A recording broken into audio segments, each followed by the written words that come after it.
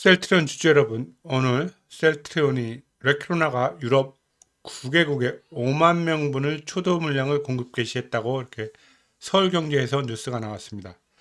오전에 나와서 조금 분위기가 좋았는데 어, 모더나 CEO가 음, 오미크론 변이가 백신이 조금 효과가 적을 거라는 한마디에 우리나라 코스피, 코스닥이 와르르 무너졌죠.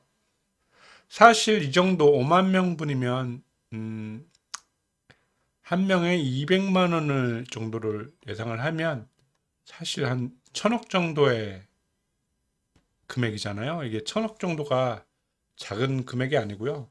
지금 유럽 9개국에서 시작을 했기 때문에 향후에도 계속 공급이 확대될 것 같은데 시장에서는 역시 완전히 소외됐습니다. 셀트리온은.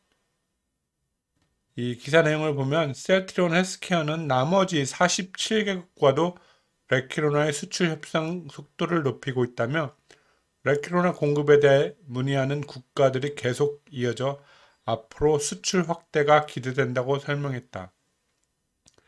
결국엔 지금 어, 유럽 9개국 이외에 47개국과의 협상을 하고 있고요.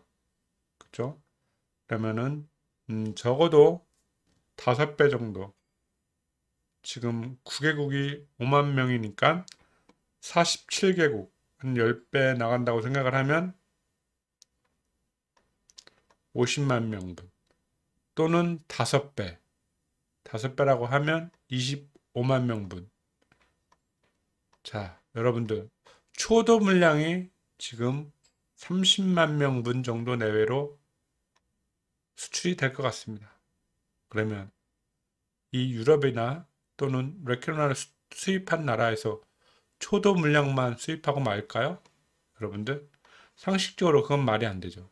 그렇게 되면 100만 명분 정도는 무난하게 수출이 될 수 있을 것 같습니다. 지금 유럽은 코로나19 재확산이 심화되면서 레키로나 같은 치료제 수요가 커지고 있다. 커지고 있죠. 그죠?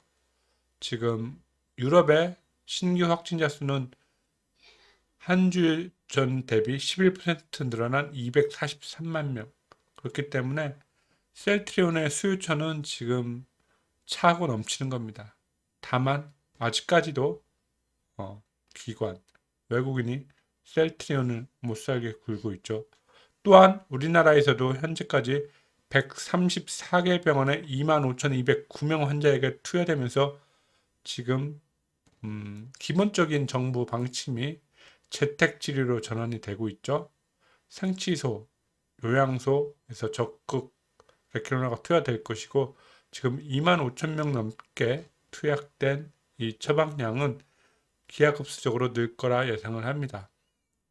여러분들 오늘 5천 원 떨어져서 조금 속상하실 텐데 장 끝나고 시간의 거래에서 떨어진 만큼 5,500원이 상승해서 끝났습니다. 유럽에서 무슨 일이 있는 걸까요? 오늘 9시 정규 방송에서 뵙겠습니다.